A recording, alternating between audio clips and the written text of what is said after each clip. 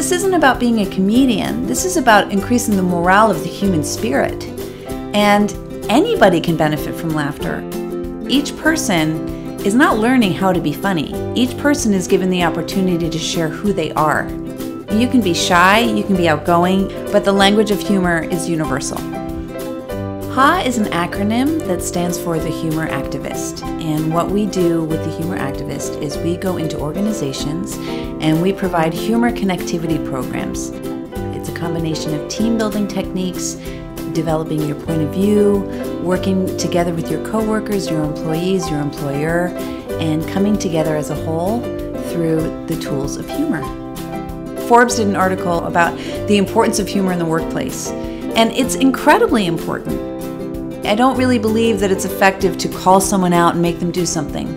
But come on, we all like to dance in our living room, probably, right? So this is just a way to dance and have fun. The HA program was excellent in helping me to realize the wonderful skills and traits that my employees had and help me further develop them within the organization. The bridge of humor in bringing them together is profound. I've had the opportunity to attend a lot of other team building experiences, and this was the first time that I really learned more about myself and how I can be a better leader in my organization let's say, for example, a four hour workshop is divided between um, half improvisational team building games and half individual point of view assessments. And so what happens is you get the benefit within the first half of ice breaking techniques, working with your coworkers, again, in other departments you've never known before, or working with a coworker you think you really know but you're learning more about. The Humor Activist programs, HA programs, can be tailored to your company. So the length of time can be anywhere from two hours, four hours, day retreats, and we customize it based on the needs of your company and how many people would like to participate.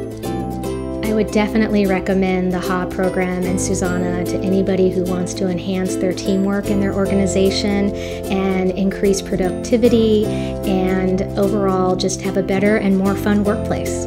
I feel like I want people to get excited to go to work. Maybe high five one another instead of like, time to get the coffee, I'm on a deadline. We all know the deadlines are there. The fluorescent lights are still going to go, but you, are just going to look at life in a different way. It goes down to the primary way that we all engage with one another, even as kids on the playground, and that's through laughter.